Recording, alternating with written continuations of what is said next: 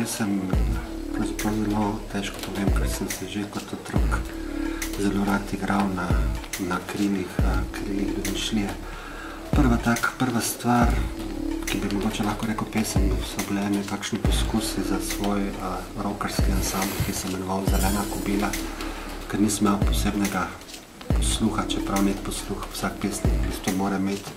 V bistvu je bolj šlo za to, da nisem zdržal nekega ritma kot, kot glasbenik, ker se me je nosilo sem in tja. Sem se pa zaprav, so me pač pravzaprav uporabili za teksta, za pisca besedil eh, in to je bila pravzaprav tudi krasna šola za kasneje.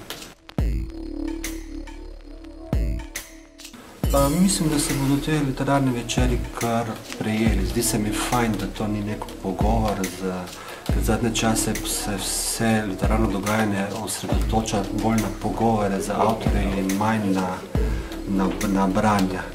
Mislim pa, da je poezija, kot je rekel letošnji nagrajenec Mlakar Prešernovega sklada, ni samo namenjena branju, uh, tihemu branju, ampak v veliki meri tudi branju na glas, zlasti če bere uh, avtor, kar se potem nekako tudi ponavadi čuti tisti ritem, ki je povezan z ritmom ustvarjanja, recimo.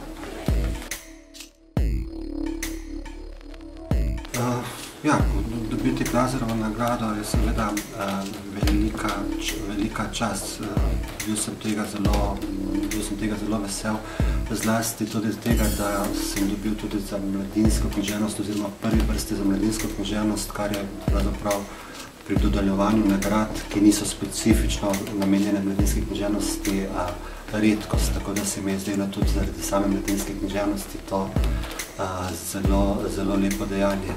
Tako vsak avtor je seveda vesel nagrade, je pa tako z nagradami, a, ti pišeš, največja nagrada je, če napišeš stvar, ki ti jo uspe, če napišeš dobro, pa če dobiš za to Nobelovo nagrado ali, ali ne. Uh, važno je, važno je tisto, tisto, kar narediš, tisto, ko sam začutiš, da je neka stvar res, uh, res ti uspela. Nagrada je potem neka zunanja stvar, če pravi se da dobrodošla.